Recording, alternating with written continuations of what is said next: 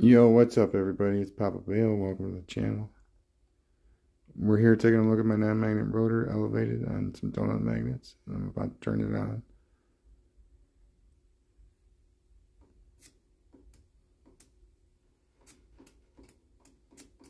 Look at that. Look at those sparks. It's awesome.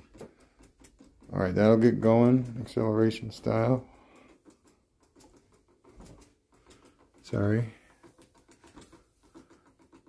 We got two donut magnets on the bottom and one on the disc.